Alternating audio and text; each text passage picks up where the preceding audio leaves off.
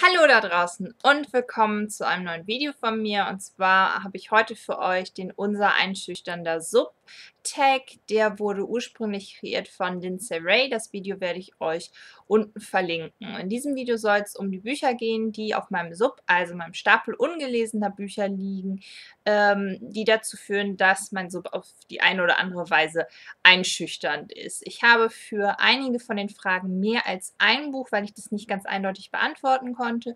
Und wie immer verlinke ich euch auch die Fragen und alle Bücher, die meine Antworten dazu sind, unten. Nicht wundern, falls ich nach unten gucke, da liegen meine Notizen zu den einzelnen Fragen und damit geht's jetzt los. Frage 1. Welches Buch konntest du nicht beenden? Dazu habe ich gleich zwei Bücher und zwar zum einen, wer diesen Kanal quasi von seinen Anfängen verfolgt, wird es wissen, von Megan Spooner, Skylark, Der eiserne Wald. Das ist das erste Rezensionsexemplar, das ich jemals abgebrochen habe. Es klang total gut, deswegen hatte ich es beim Heine Fliegt Verlag angefragt und ich bin, glaube ich, nicht weitergekommen. Ich glaube, ich bin bis knapp zur Hälfte gekommen und dann habe ich es abgebrochen, weil es einfach, weil ich nicht mehr konnte, weil ich auch nicht mehr weiterlesen wollte. Das ist das eine Buch, was ich abgebrochen habe. Das andere, was ich abgebrochen habe, und ich werde jetzt leider den Namen des Autoren einfach töten und es tut mir leid, ist von Quan Zhong-Shi, äh, Fortress Besieged. Das war ein Geschenk und eine Leseempfehlung ähm, von einem chinesischen Freund von mir aus dem Auslands ja, der mir dieses Buch sehr empfohlen hat und sagte, das ist ein Klassiker der chinesischen Literatur. Tatsächlich ist es aber so, dass ich bis Seite 70 gekommen bin, weil ich in diesem Buch einfach das Gefühl hatte, dass nicht wirklich was passiert. Das ist relativ schade. Ähm, ich hatte mich sehr darauf gefreut, mal ein bisschen mehr außerhalb dessen zu lesen, wo ich mich normalerweise rumtreibe, aber dieses Buch was einfach gar nicht und deswegen liegt es seitdem hier rum mit Lesezeichen drin und Frage 2. Welches Buch hast du noch nicht gelesen, weil du nicht die Zeit dafür hattest? Ähm, auch da habe ich zwei Bücher, um das zu beantworten. Und zwar vom einen ähm, The Furies of Calderon von Jim Butcher. Und nicht nur, dass dieses Buch ziemlich dick ist, sondern das ist auch Teil einer Reihe. Das sind, wenn ich das richtig weiß, fünf Bücher und die haben alle diese Stärke bzw. diese Dicke und ähm, ich weiß genau, dass mir das sehr gut gefallen wird, weil ich Jim Butchers Schreibstil sehr mag und ich mag sie die Welten, die er schafft. Das heißt, wenn ich das erste lese, will ich auf jeden Fall auch das zweite lesen wollen und so weiter und so fort. Und ich habe gerade nicht die Zeit, ähm, die es benötigen würde, das zu tun und die ich dafür investieren möchte und auch müsste. Und deswegen ist das gerade so ein Buch, das ich aus Zeitgründen noch nicht gelesen habe. Das zweite, was ich schlicht und ergreifend aus Zeitgründen noch nicht gelesen habe, ist von Rick Riordan, Magnus Chase and the Gods of Asgard, The Sword of Summer. Das ist halt relativ ärgerlich. Das liegt hier seit einem Jahr rum, beziehungsweise ich habe es zu Weihnachten bekommen. Und das zweite ist jetzt draußen. Und ich bin aber ganz ehrlich einfach noch nicht dazu gekommen, mich da hinzusetzen, mir die Zeit zu nehmen und das in Ruhe zu lesen. Aber ich bin gerade sowieso ein bisschen hinterher, was die Riordan Sachen angeht, weil ich auch The Trials of Apollo noch nicht gelesen habe. Frage 3. Welches Buch hast du noch nicht gelesen, weil es eine Fortsetzung ist?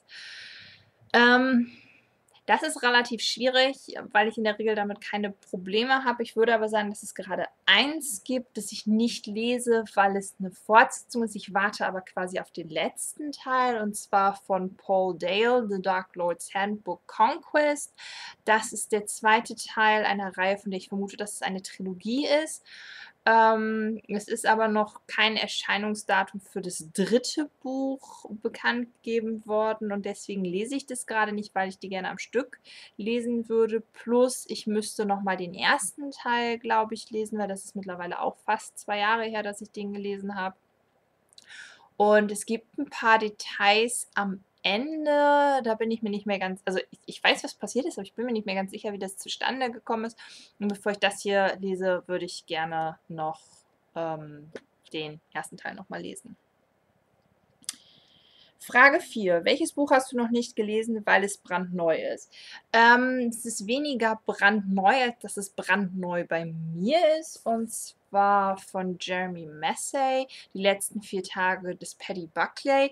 Das ist hier tatsächlich gerade erst vor zwei Tagen angekommen. Das heißt, ich hatte schlicht und ergreifend noch nicht die Gelegenheit, das zu lesen. Frage 5. Welches Buch hast du noch nicht gelesen, weil du ein anderes Buch vom Autor gelesen hast, welches dir nicht gefallen hat? Die Antwort dazu ist Reckless, Steinernes Fleisch von Cornelia Funke. Cornelia Funke und ich ist so eine schwierige Geschichte. Es ist wirklich sehr, sehr Hit und Miss. Ich liebe Tintenherz, mit Tintenblut und Tintentod habe ich so meine Probleme. Ich habe vor anderthalb Jahren ein Autorenseminar zu Cornelia Funkes Werk belegt und auch da war es so, dass einige Sachen haben mir sehr gut gefallen, andere Sachen gar nicht. Und das letzte, was wir gelesen hatten, war Geisterritter. Das hatte mir gar nicht zugesagt und äh, deswegen bin ich seitdem wirklich sehr, sehr am Überlegen, ob ich dieses Buch lesen möchte. Mir wurde aber mittlerweile von verschiedenen Seiten gesagt, dass das hier sehr gut sein soll und dass ich dem doch durchaus nochmal eine Chance geben könnte. Deswegen ist es auch noch bei mir zu Hause. Frage 6. Welches Buch hast du noch nicht gelesen, weil du nicht in der Stimmung dafür bist? Und die Antwort da ist The 52nd von Dela. Ähm, das ist ein Buch, auf das ich mich sehr gefreut hatte und das ich auch unbedingt lesen wollte. Aber aufgrund des Themas ähm, ist das so ein Buch, von dem ich denke, dass das eher in den Herbst gehört. Also jetzt haben wir wieder Herbst, sind die Chancen größer. Ähm, und es ist aber häufig so, dass ich nicht weiß, ob ich so motiviert bin, dieses Buch zu lesen. Also ich, ich bin häufig einfach nicht in der Stimmung dafür. Lass mich das so sagen. Und ich muss mal gucken, vielleicht, äh, dass ich das jetzt mal demnächst zur Hand nehme, damit das mal was wird. Frage 7. Welches Buch hast du noch nicht gelesen, weil es riesig oder dick ist? Äh, von Susanne Gerdem, Queen of Clouds, die Wolkentürme. Das ist ein ziemlicher Brecher. Ähm, das war auch mehr so, dass mich, das, das, ich weiß nicht, das ist so eine ganz komische Geschichte gewesen. Ich mache das normalerweise eigentlich nicht, aber ich war im Buchladen und haben uns so umgeguckt und ich habe mir so dieses Buch angeschaut und es klang total interessant. Und ähm, aber irgendwie war das dann, als ich es dann hatte, so, dass ich gedacht habe, das ist aber ziemlich groß. Und äh, das hat halt 504 Seiten, also gar nicht so viele im Vergleich. Aber es ist halt häufig so, dass ich da so drüber gehe und so denke, nope, nope, nope, nope, nope. Da kann ich lieber äh, zwei dünnere Bücher in der gleichen Zeit lesen, die ich bräuchte, um dieses Buch zu lesen. Aber ich bin äh, quasi wild entschlossen, es irgendwann nochmal zu lesen. Frage 8. Welches Buch hast du noch nicht gelesen, weil es ein Coverkauf war, aber sich dann herausstellt, dass es schlechte Bewertungen hat? Ähm, streicht mal den letzten Teil, schlechte Bewertung. Das weiß ich nämlich für dieses Buch tatsächlich gar nicht. Äh, es war ein Coverkauf und dann habe ich rausgefunden, dass, oder habe ich feststellen müssen, dass ich den Schreibstil überhaupt nicht mag. Und zwar ist die Rede von The Declaration von Gemma Morley. Ähm, ich mag den Schreibstil äh, von Gemma Morley, zumindest hier drin nicht. Ich will jetzt nicht sagen, dass ich den grundsätzlich nicht mag, aber hier drin ist das echt so Puh.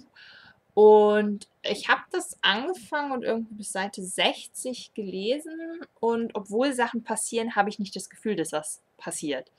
Ähm, weil das alles so sehr la la la erzählt wird. Also ich kann es tatsächlich nicht besser beschreiben.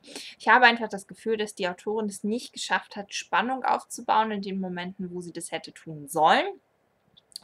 Und äh, deswegen ist meine Motivation auch sehr gering. Und ich hatte dieses Buch gekauft, weil es interessant klang und ich das Cover halt sehr, sehr toll fand. Aber letztendlich war es das irgendwie nicht so richtig. Und ich muss jetzt mal gucken, es ist jetzt irgendwie drei, vier Jahre her, dass ich das, drei, dass ich versucht habe, das zu lesen, dass ich das nochmal versuche.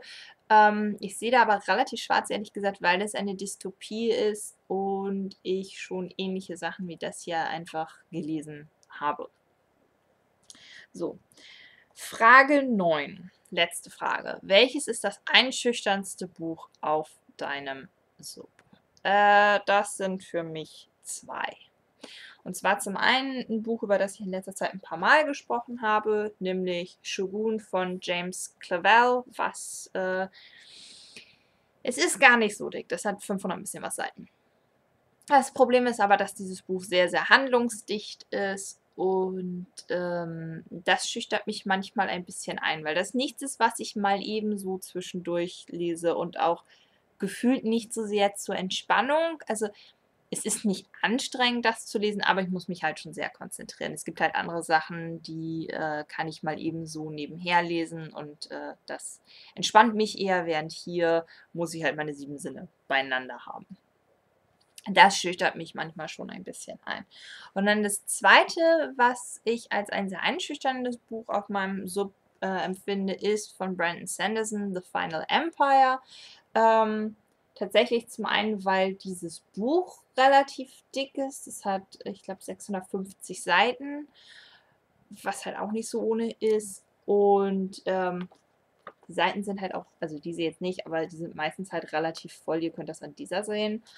Ähm, und halt auch einfach das Wissen darum, dass da eine Serie hintersteht, die alle jeweils genauso dick sind, beziehungsweise genauso umfangreich sind. Also ihr könnt das ja da im Regal seht ihr die Reihe stehen. Ja. Und ähm, deswegen bin ich da immer so ein bisschen so, hm, ich, ich würde das gerne lesen, aber irgendwie schüchtert es mich ein, weil da steht noch eine ganze Reihe hinter, die sind alle genauso dick. Und das ist total tragisch, weil das, die Reihe soll sehr, sehr gut sein. Also nicht nur, dass mein Mann total schwärmt, äh, sondern ja auch viele, viele andere. Aber irgendwie ähm, ist das eine ähnliche Geschichte wie mit Jim Butcher. Ich bin auf der einen Seite nicht so motiviert, The Furies of Calderon zu lesen, weil das einzelne Buch dick ist, zum anderen aber auch, weil die Serie relativ lang ist und ich habe so die Theorie, dass es mir gut gefallen wird, weil ich auch, genau wie mit äh, Butcher, ich mag Sandersons Schreibstil sehr, sehr gerne. Ähm, wie ihr wisst, habe ich schon relativ viel von Sanderson gelesen, gerade aus der Jugendbuchabteilung, von dem, was er schreibt. Und ich würde das dann gerne lesen und ich fürchte aber, dass mir das gut gefallen wird und ich dann anfangen würde, den Rest der Reihe zu lesen. Und das ist ein bisschen einschüchternd, weil das sind viele, viele Seiten insgesamt. So, das war's von mir zum Thema mein einschüchternder Sub. Mich würde jetzt interessieren, welches ist das einschüchternste Buch auf eurem Sub? Also welches ist das Buch, wo ihr so vorstellt und sagt, nope, nope, nope, nope, nope, nope, nope. Ähm, beziehungsweise habt ihr überhaupt so ein Buch? Lasst mir das gerne mal in den Kommentaren unten da. Das würde mich tatsächlich sehr, sehr interessieren. Das war's für heute von mir. Ich wünsche euch noch einen schönen Tag und ich sehe euch dann zum nächsten Video. Ciao!